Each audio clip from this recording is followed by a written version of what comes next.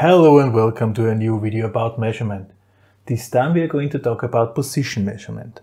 I'm going to talk about a specific type of position measurement and then go to some more common understanding. Alright, so this specific type of position measurement we are talking about is optical position measurement. Okay, optical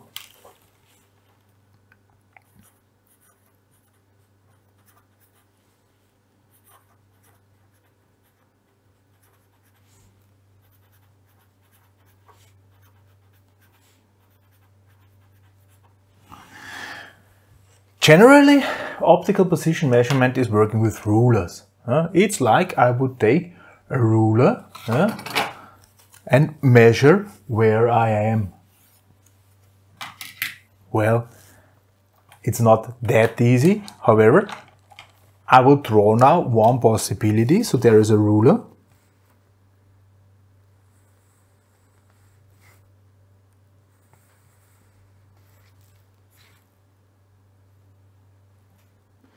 and this ruler is divided into segments.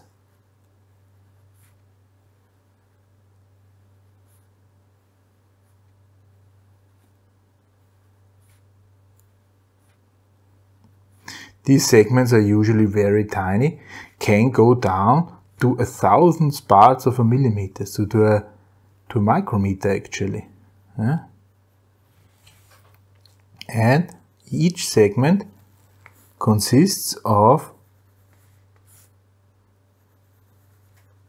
a number of bits and each segment has a code so there might be it might look like that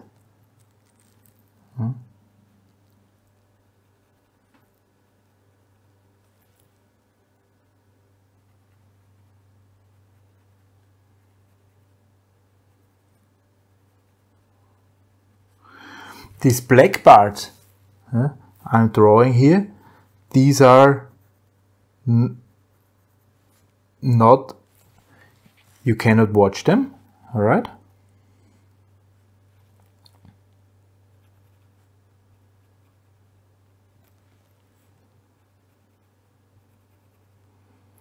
So there is a code. I will not draw all of them. There's a certain code and each code each combination yeah, is presenting a position, right? And now I only need here somewhere some, I'll draw it maybe in a different color. Yeah? So this is a ruler and here we have some, some light beams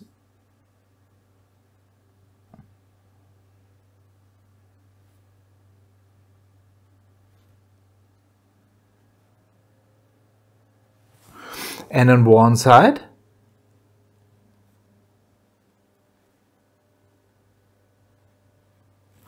We have detectors. Hmm.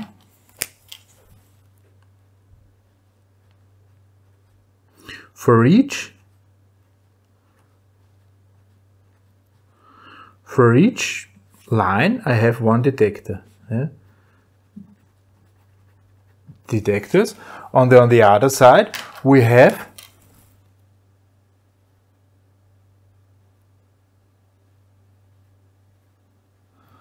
let's draw them.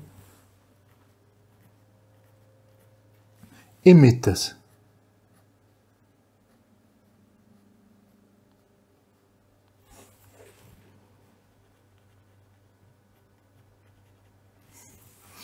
Those emitters emitting light and if it's a look through, uh, if it's a look through, then uh, this detector will detect. If it's not a look through, if it's somehow shaded, uh, this particular square of the ruler, then these uh, detectors will not detect anything.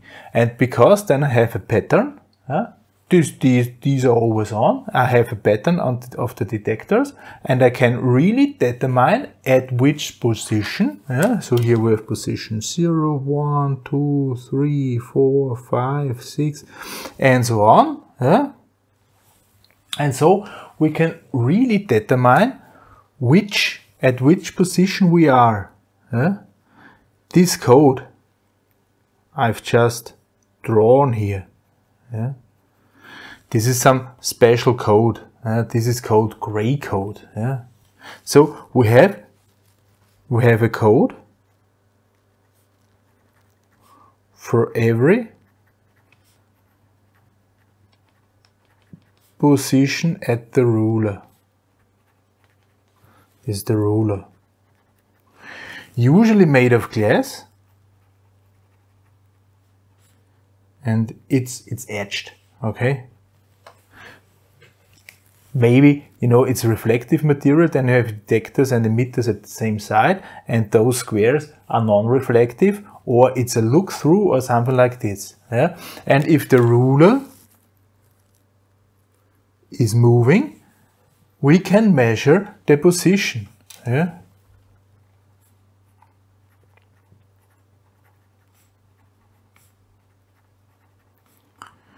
Position of ruler is, is determined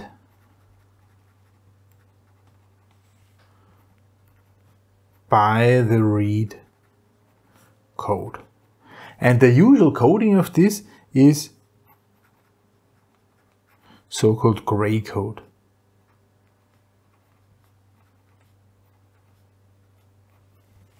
What is a gray code? A gray code is a code where only one bit is changing. From one position to the next position only one bit is changing. If you would if we would have binary code and we're making an error of exactly one bit it might we might be off far. Yeah? If we have a gray code and we make an error of exactly one bit we are at the, at the neighbor position and not and not far away.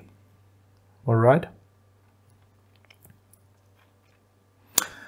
yeah this is this is how those those those codes they build them looking like a little bit like a tree they build something like that uh, gray code this is not one there's not one gray code there are several gray codes the only the only uh, thing it has to to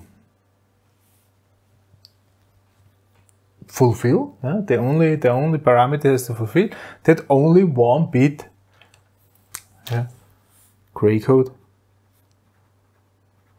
only one bit is changing this is the rule only one bit is from one position to the next of course so this is one possibility of optical position measurement. Hmm. If we turn this on, think about we are turned off, yeah, we are somewhere. If we turn it on, we read out the, the position and we exactly know where we are. By the way, it doesn't really matter if the detectors and emitters are moving or the ruler is moving. Something has to move, right? So it's just a relative movement. Yeah? So, however, we are measuring the position right after turning on. Yeah, we know exactly where we are. We know exactly where we are. Yeah, just from looking at the code. Yeah, so this thing is called absolute position measurement. Yeah? So this is an absolute position measurement.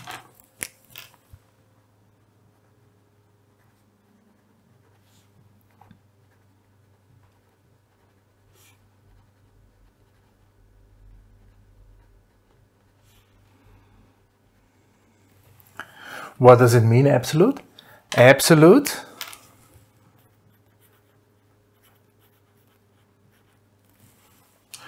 we know exactly where we are at any point in time.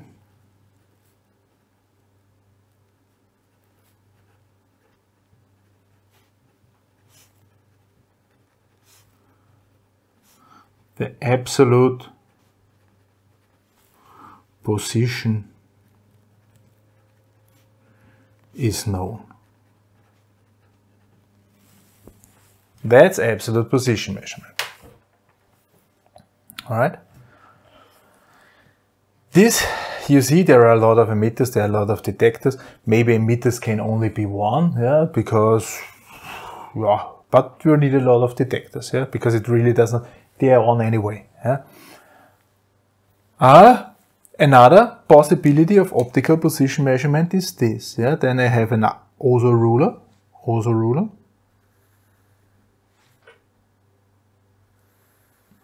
And this ruler has now only holes, stripes, slots.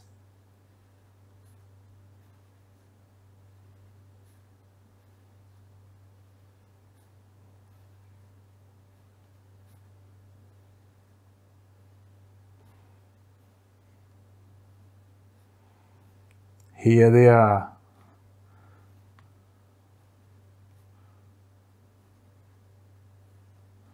Slots. Look through windows, windows in a ruler, ruler.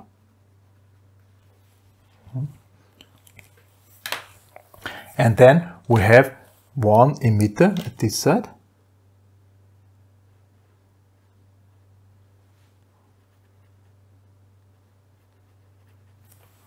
We have one detector at this side.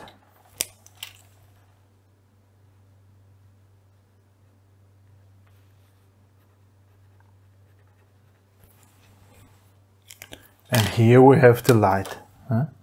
And the light is either blocked or not, depending if the ruler has uh, this slot, this look through, huh? or is blocking the light. And now imagine what is happening if the ruler is moving. Yeah, we will get here dark, bright, dark, bright, dark, bright, dark, bright, dark. We get here pulses. And if I know, if I count the pulses, if I count the pulses here, and know how much movement one pulse means, I know exactly how far I have been traveled. So the ruler is moving, we get the pulses, we count the pulses, I know exactly how far we have gone.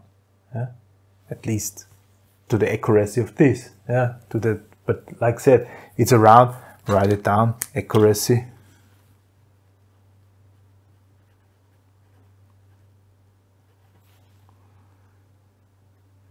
One micrometer. So it's accurate. I know pretty exactly where I am. No, I don't know where I am. I know how far I've been traveling. This is the big difference, all right? Here I know exactly where I am. Here I only know how far I've, I've gone. And it's much easier. Yeah. Here I always have the trouble that this detector is only detecting this this detector is only detecting this. This is not that easy to, to solve. And so these things are more expensive than these things. Yeah? And also, you know, it's not that easy to etch or produce those rulers. They are also more expensive and these can even be more accurate. Yeah. So I can make the structure smaller here. Yeah. Maybe some of you already noticed, hey, what is happening here? it doesn't really matter if I move in this direction or in this direction. It will always be dark light, dark light, dark light. If we have something which can only go in one direction, it's no issue. If we have something which can go both directions, I'm not, I'm not really sure if I'm moving left or right. Yeah? So I have to use the following configuration. If this is the ruler here,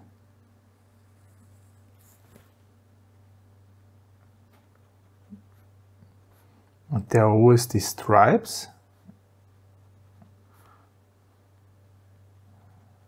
draw it now cut open yeah and here we have parallel light okay here we have the light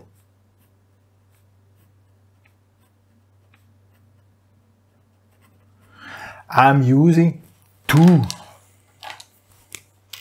detectors one here huh?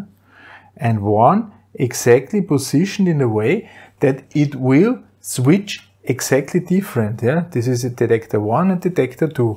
And if this is now moving, yeah, I would get the following the following sequence.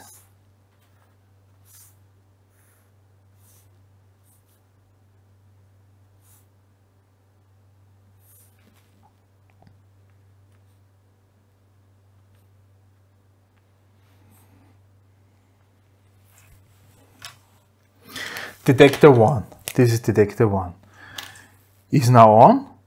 After a while, it switch off and switch on again.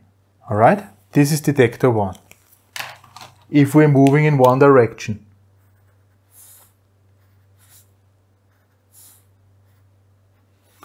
If we are moving in the same direction, this will already come on. Yeah? So here we will come on, stay on, and then turn off.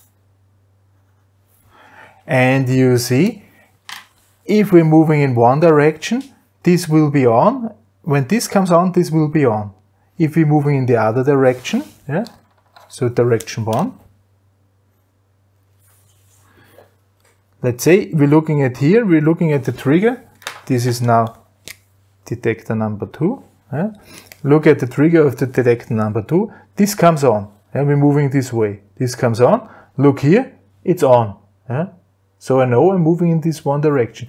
If we come from the other side and this comes on, this is off. Yeah? So I only have to look to the other side actually yeah, I have to look to the to the other detector yeah, and see if it's on or off, and then I know exactly in which direction I'm moving. So I'm using two detectors with one light source, yeah, and I can determine in which direction we are moving. So now it's working left right. There's another benefit of this. Yeah, there's another benefit of it. If I do an XOR of those two signals,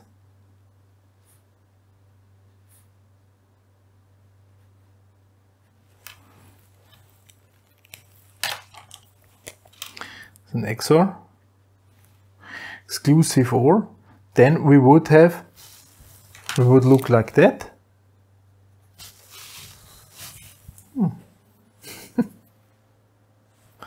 Then we would look like that. Here, we are not equal. Here we're equal. Here we're not equal. Here we're equal. Here we're not equal. You see, I've doubled the resolution huh? So this, this is working pretty nice. Yeah. However, now I know exactly how far I've traveled, left, right, and so on. But I'm not sure where I've started. Okay, so this is a so-called incremental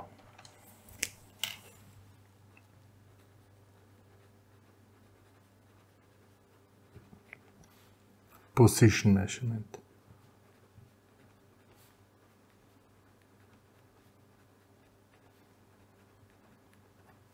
incremental position measurement.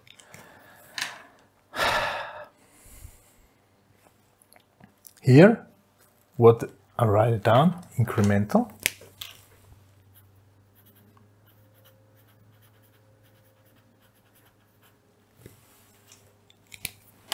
We only know how far we have traveled.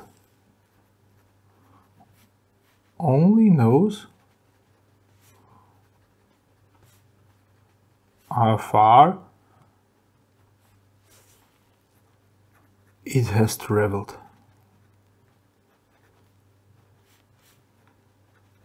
But not the absolute position.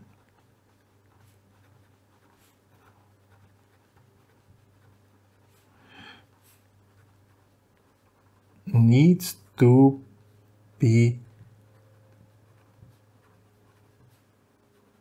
initialized. All right, so it needs to be initialized. At the beginning, if I turn the thing on, I have to go to a reference position, which is somehow indicated by a limit switch or something like we talked about switches, huh? which is somehow indicated by a limit switch. And yeah, then I know where I am. And from this position, I can count. Huh? Here, better resolution, incremental. However, if I'm losing one increment, this is why it's called that way. If I'm losing one increment, then I'm off. And this will never be, never be the, be, this wrong will never be, be righted. Okay? Be corrected. Corrected. This is the word I've, look, I've been looking for. This, this, this is simply done wrong and it will stay wrong. Yeah? I can only lose Yeah? This is why sometimes there are also a combination of absolute and incremental uh, things needed. So there are markers on when we know, okay, there we know absolutely where we are. And between the markers, we're working incremental with a better resolution. Uh, so best of two worlds. So that's basically position measurement, yeah? absolute and incremental position measurement in common and optical position uh, measurement in particular, how this is working. Okay. There are different ways of how to measure position. Yeah? So this was now optical position measurement. Next time we are going to talk about potentiometric resistance position measurement. How this is working, we will discuss in next video. For this time, thank you very much for listening. Goodbye.